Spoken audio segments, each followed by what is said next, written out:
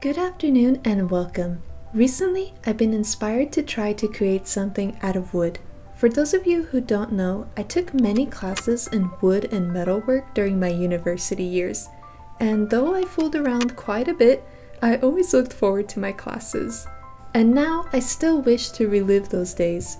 But since I can't go back, I can at least bring the skills I learned to the present.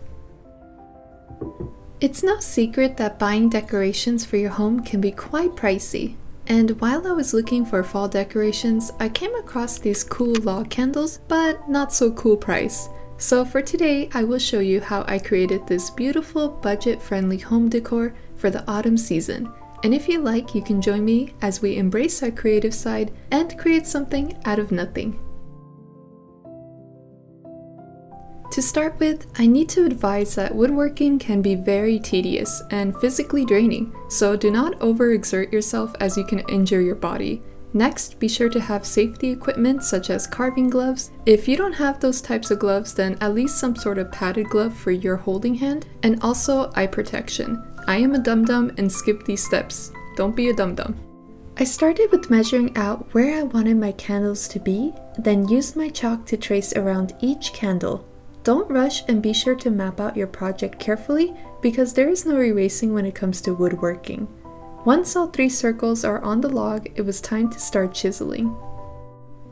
Now, each chisel has its own name, but to keep it simple, I started by using a curved chisel. I start by placing my chisel a little below the line that I created with my chalk, and with my hammer, I began carefully hitting the chisel with it. My chisel isn't at an angle but straight, what I'm trying to do is create an outline of my circle with my chisel. The wood that I was using had some beautiful bark on it, and it was very simple removing the bark with my chisel, but as we get deeper into the wood, it gets a bit tougher. Depending on how deep you want the hole for your candle to be, you're going to need to chisel out more wood. To do that, I used the same technique that we did in the beginning. I took my curved chisel and hammered around the circle. Then using a chisel that has a pointy edge, I created a cross inside the circle.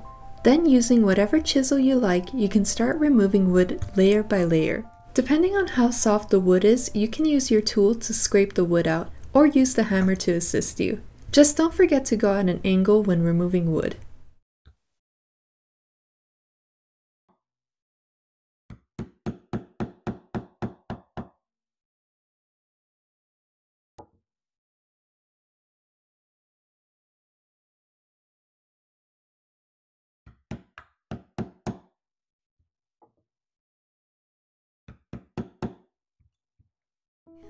When woodworking, you might have to go through all your chisels to see what chisel works best in certain scenarios. So don't be scared to try each chisel and see which one you prefer. I found myself using the curved chisel a lot of the time since it was able to do a lot of the work. So don't feel pressured to use different chisels all the time because if you like one that works for you, then you can just stick with it. Also, if you happen to have clamps, this will make this project so much easier since it'll stop your project from moving around each time you hit it. I sadly didn't have any so I had to constantly adjust the wood back in its place. You might have also noticed that woodworking can be quite messy, so be prepared to have a designated space and a little trash can to collect any wood pieces and wood dust.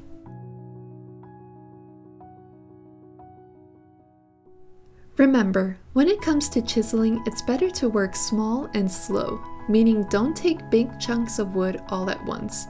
By taking smaller chunks of wood out, you can be more precise and control your work. And woodworking is all about control because you can't erase or click the undo button. However, one thing you can do is glue some pieces back. Remember how I said the bark came off easily? Well, it came off in certain areas and it looked like bald spots on my wood. So I glued back some of the bark back onto the wood because I just love how the bark looks. Anyways, if you ran into the same problem as me, there's no shame in using some glue.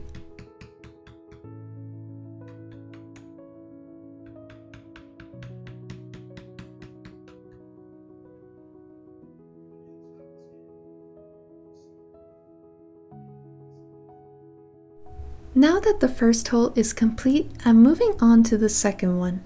I did have to redraw the chalk circle again off of camera since it disappeared, But that was an easy fix. Now it's just a repeat of what we did for the first hole. I really do feel like this is an easy woodwork project for those of you who never woodworked, and I feel like you can pick this up quite fast.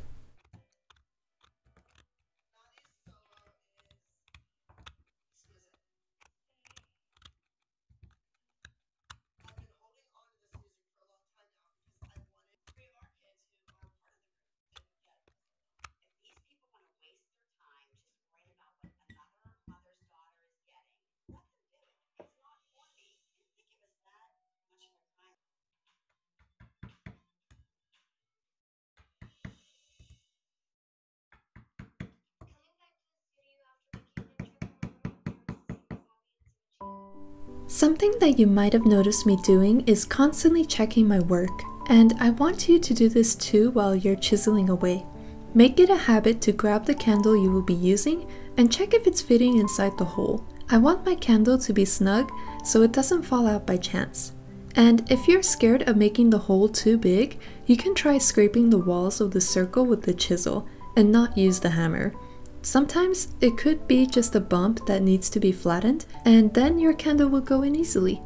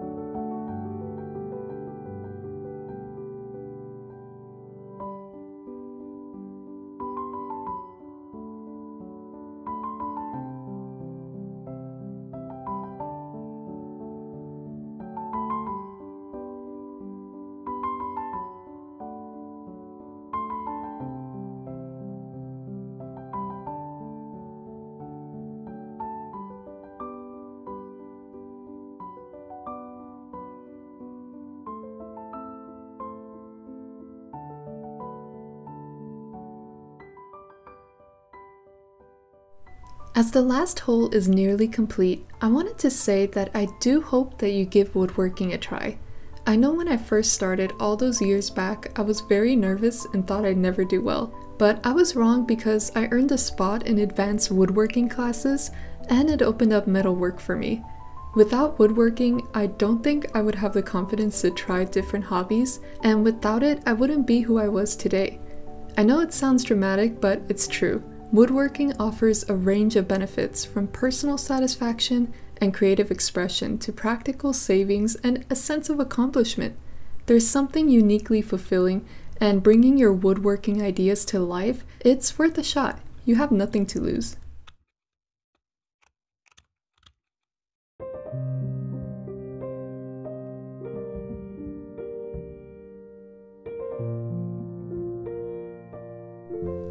After two hours, the project is finally complete.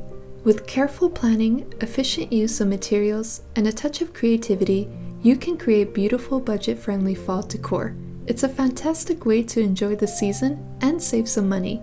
Thank you for joining me in this fall DIY woodworking adventure. Remember, the fall season offers endless opportunities for creativity and savings.